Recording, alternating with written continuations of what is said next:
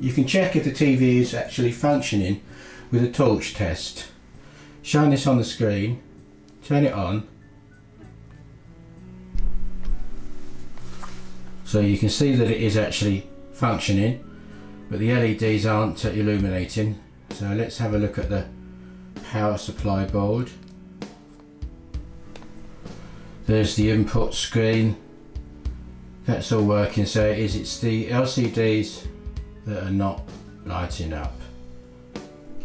Carefully lay it face down on something soft. I've put it on a uh, duvet. on the bed here.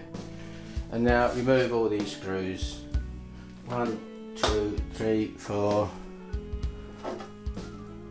five six. Oh there's 21 21 screws all the way. Make sure you get them all out. There's another one in there.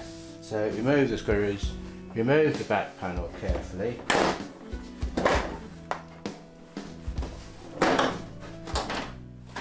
and there we go. Here's the power supply board and there's the main PCB board. I'm just going to test the output voltage to the LED strips. This is the connector. There's four cables on here. Plus or minus this side should read round about sort of 84 volts.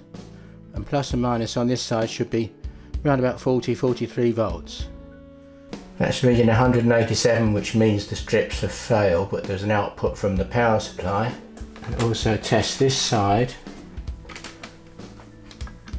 60 volts on that side which means the strips have failed. Now we have to dismantle the screen. I have carefully removed the screen and panels. Now I'm going to test the LEDs you need to buy one of these. I got this on eBay for about £30. You plug this in the mains and here are the testing probes.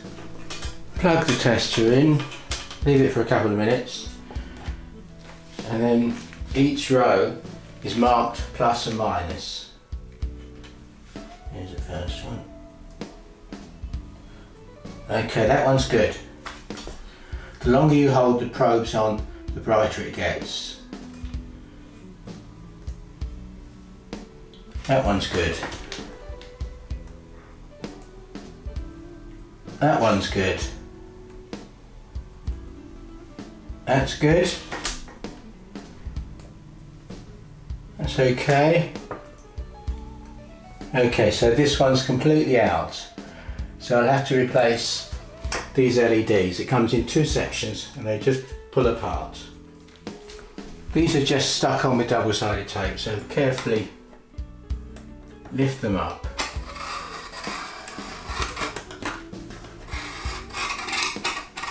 So connect to there, pull that out from there. And now the second one.